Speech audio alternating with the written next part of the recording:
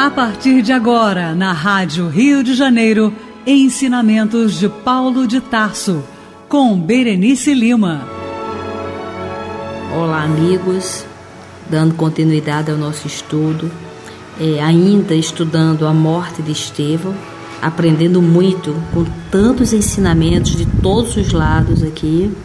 Estamos estudando o livro Paulo Estevão e o meu livro, a página é 143 no capítulo da morte de Estevão e que nesse momento é, Abigail reconhece o Estevão, aquele homem que está sendo apedrejado, aquele homem que está sendo humilhado diante de tantos judeus. Né? Quantos ensinamentos tem para gente nessas cenas é, onde os judeus naquela época sofrendo perseguições, sofrendo humilhações, mas também reproduzindo perseguições e humilhações dentro do próprio grupo. E aí a gente aprende que sempre quando a gente é, levanta algumas bandeiras, né, bandeira da liberdade, bandeira da injustiça, quando a gente defende ideias, nós temos que fazer uma avaliação se essas ideias que nós estamos defendendo, se nós não aplicamos ela também em alguns momentos da nossa vida. É aquele famoso ditado: é, quem bate esquece e quem apanha guarda. E muitas das vezes nós batemos, nos esquecemos. E quando nós apanhamos, aí é isso sim, nós vamos à luta, querendo reivindicações. E nós precisamos aprender esses ensinamentos, porque nós precisamos mudar o rumo da nossa vida. Nós precisamos ter uma compreensão da vida a partir de nós mesmos, porque esta é a proposta de Jesus quando ele ensina a amar a Deus sobre todas as coisas e ao próximo como a si mesmo. Então, partindo sempre de nós. Nós precisamos, é, em caráter de urgência, é, conhecer a nós mesmos.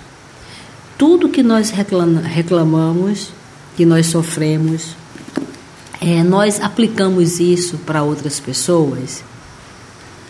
Nós queremos a liberdade, mas nós damos liberdade às outras pessoas.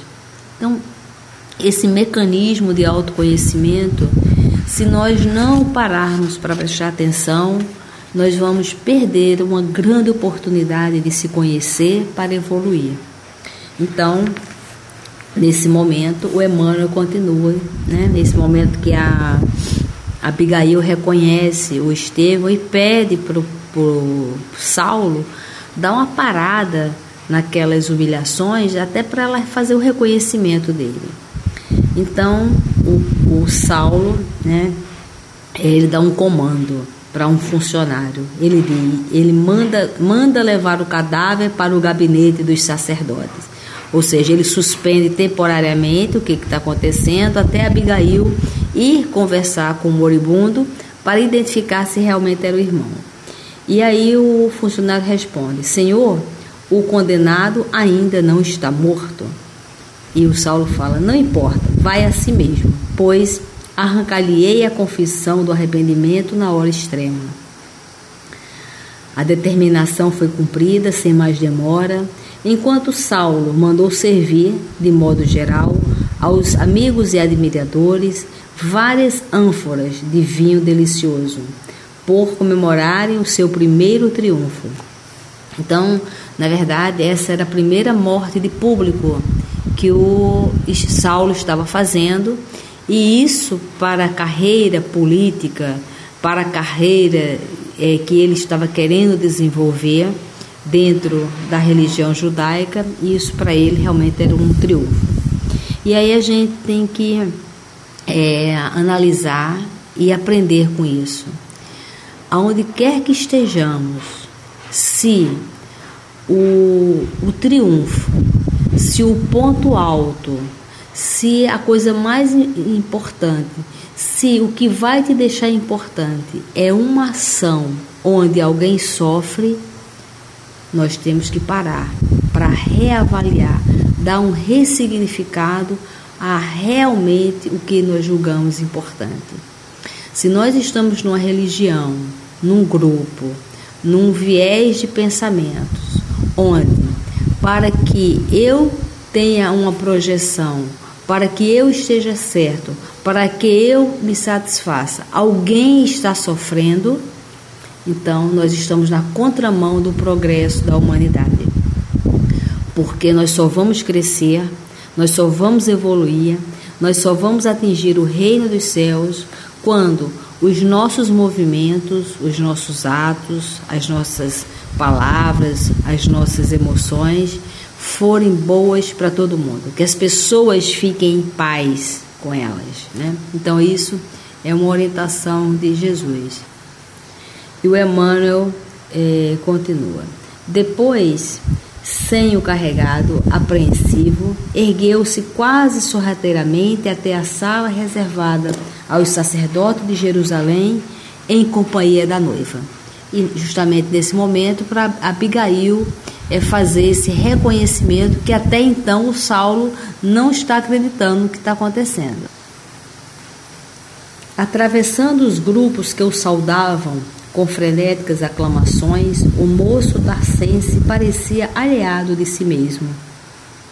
Conduzia Abigail pelo braço delicadamente, mas não lhe dirigia a palavra. A surpresa emudecera-o e, se Estevão fosse de fato aquele Gesiel que aguardavam com tamanha ansiedade. Absorvido em angustiosas reflexões, penetraram na sala solitária. O jovem doutor ordenou a retirada dos auxiliares, fechou cuidadosamente a porta. Abigail aproximou-se do irmão ensanguentado com infinita ternura e, como se sentisse chamado à vida por uma força poderosa e invencível, ambos notaram que a vítima movia a cabeça sangrenta. Evidenciando o penoso esforço da derradeira agonia, Estevão murmurou: Abigail. Aquela voz era quase um sopro, mas o olhar estava calmo, límpido. Ouvindo-lhe a expressão vacilante e arrastada, o jovem tarcense recuou tomado de espanto. Que significava tudo aquilo? Não poderia duvidar. A vítima de sua perseguição implacável era o irmão bem-amado da mulher escolhida. Que mecanismo do destino engendrara semelhante situação? Que lhe havia de amargurar toda a vida? Onde estava Deus que não o inspirara no dédalo de circunstâncias que o levaram até aquela irremediável, cruel desfecho? É, vamos dar uma parada aqui, porque este é um ensinamento de grande significado para todos nós. Veja que ele está percebendo a situação que ele se encontra. E agora ele está apelando para Deus. Onde é que estava Deus que não inspirou ele a resolver essa questão de uma outra forma? Ora, o tempo inteiro ele foi inspirado também a não tomar essa atitude. Quando Gamaliel conversou com ele, quando Abigail conversou com ele. Né? Ou seja, ele tomou essa decisão baseada nos princípios materiais dele. Porque o que ele quer é ter uma projeção social, política e religiosa no meio que ele vive. Então, ele viu nesse massacre, ele viu nessa perseguição o mecanismo, o meio onde ele ia ser respeitado dentro daqueles padrões que o grupo dele respeitava. E agora que ele está justamente entre a mulher amada e o que ele elegeu de importância para ele, ou seja, o cargo, ele está de olho no cargo né, que ele vai ocupar e que esta morte vai dar para ele é, uma visão né, diante do público. Então, nesse momento, olha, ele chama por Deus. E isso é um grande ensinamento, porque muitas das vezes nós tomamos as decisões precipitadas e quando elas descambam para o lado ruim e que a gente vai ter que arcar com a responsabilidade, aí nós fazemos como ele. Nós vamos a Deus. Ah, meu Deus, por que, que não me inspirou antes? Por que, que não me deu a ideia antes? E quantas pessoas deram ideias para o Saulo não ser tão intransigente?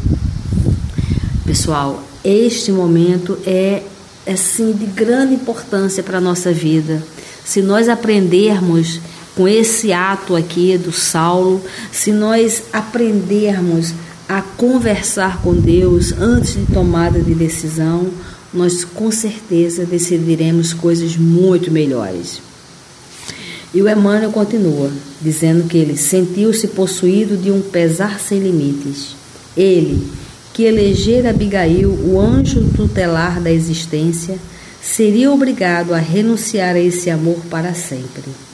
Veja que na cabeça dele não passou a possibilidade dele renunciar ao cargo, renunciar ao troféu material, renunciar ao poder sociopolítico, religioso que ele estava conseguindo, mas ele está é, renunciando ao amor. Então, ele está fazendo aqui a escolha pelas questões materiais, que é justamente a dor do Emmanuel, o mentor do Chico, que na reencarnação como Públio Lentulus, que Jesus convida ele para seguir, ele olha para Roma, olha para Jesus e elege ficar com Roma, com as questões materiais. E ao mesmo momento que o Saulo também está fazendo essa escolha, né? escolhendo a, o poder material. O orgulho de homem não lhe permitiria desposar a irmã do suposto inimigo, confessado e julgado reles criminoso. Arthur Dido deixou-se ficar ali, como se força incoercível chumbasse ao solo, transformando em objeto de insuportáveis ironias. Gesiel, exclamou Abigail, beijando e regando de lágrimas a fronte do moribundo. Como te vejo eu! Parece que o suplício te durou desde o dia em que nos separamos. E soluçava. E o, e o Estevão fala para ela, né? Estou bem, fazendo o possível por mover a mão quebrada e deixando perceber o desejo de acariciar os cabelos, como nos dias da meninice e da primeira juventude. E esse ensinamento também dessa união entre os dois, né? que a, a, a, referência é da mãe deles. Os dois têm uma referência muito positiva da mãe, de incentivando a amizade dos dois, a oração em família.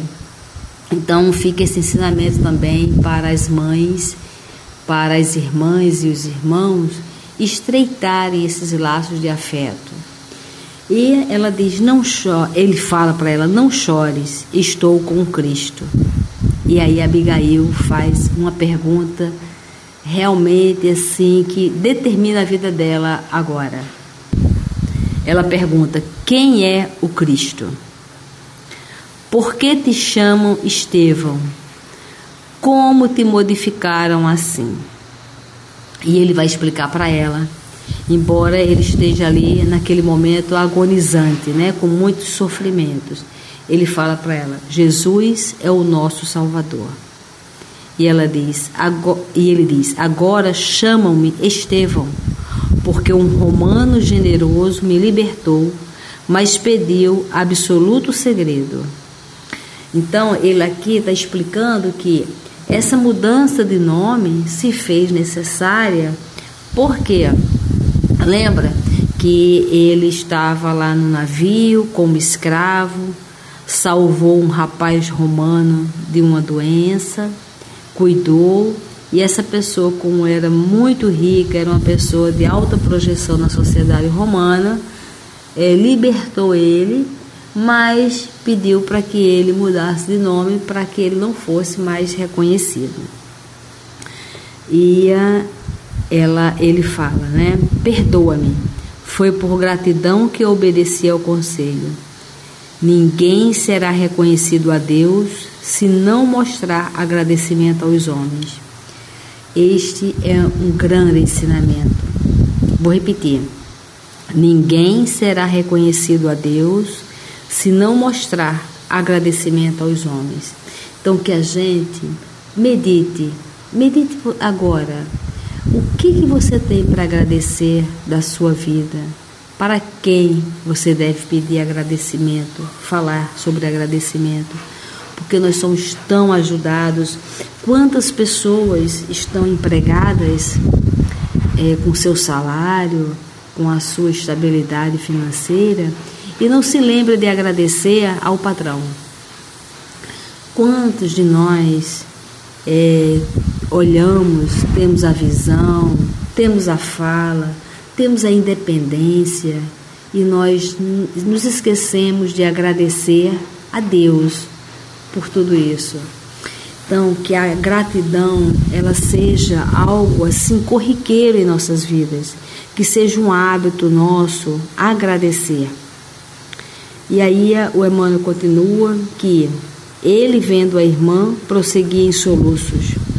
Sei que vou morrer, mas a alma é imortal. Sinto deixar-te, quando mal torno a ver-te, mas hei de ajudar-te do lugar em que estiver. É interessante que aqui ele está falando sobre a imortalidade da alma. E às vezes muitas pessoas falam que na Bíblia, né, que Jesus não falava de, explicitamente isso. Não falava porque isso era o comum, né? isso já se sabia sobre essa imortalidade da alma. Tanto que o Velho Testamento eles, eles está recheado de quê?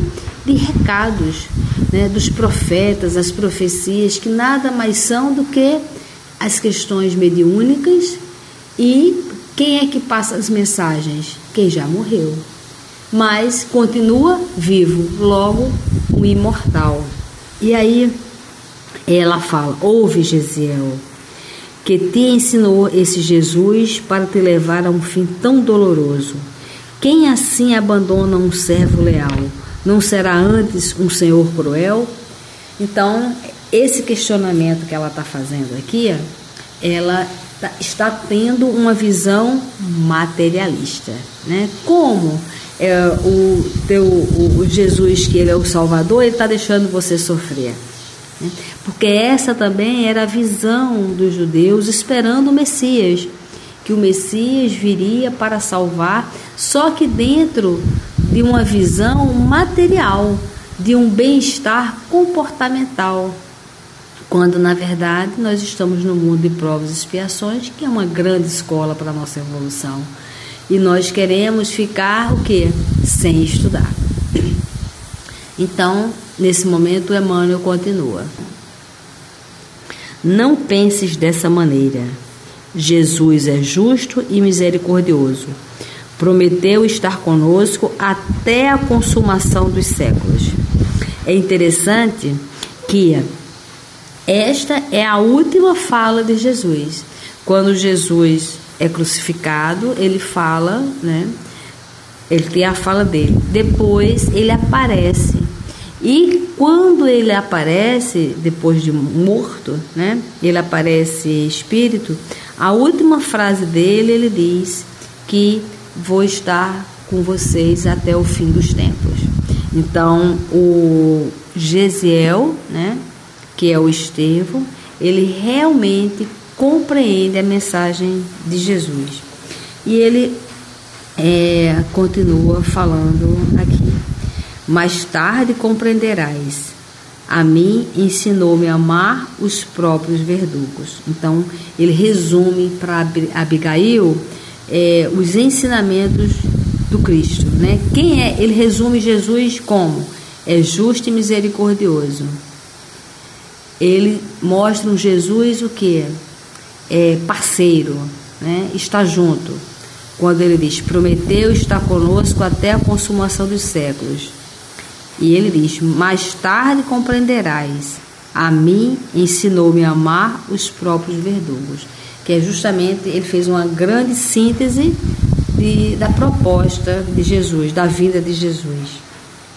E o Emmanuel diz que ele abraçava-o carinhosamente, desfeito em lágrimas abundantes.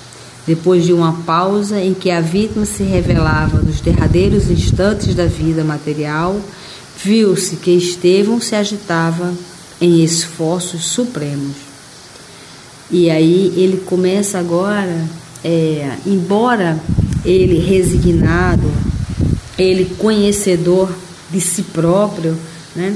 Ele está vendo ali a irmã dele fragilizada, principalmente por ela não compreender Jesus e ela ainda ter essa visão material da vida.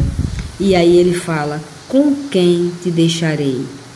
E ela diz: Este é meu noivo, mostrando, apontando para o Saulo.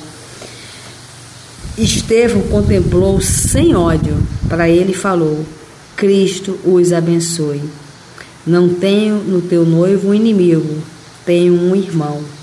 Saulo deve ser bom e generoso. Defendeu Moisés até o fim.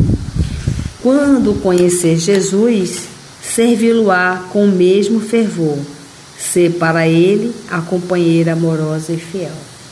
É, nós estamos aprendendo aqui que o saber do Estevão, né, ele sabe sobre Jesus, ele sabe sobre ele, ele raciocina, ele vivencia a reencarnação, a imortalidade da alma. Ele sabe que ele é um espírito imortal e que ele está em provas e expiações, mas para ele tem muito mais do que isso. Então, eles têm uma visão puramente espiritual.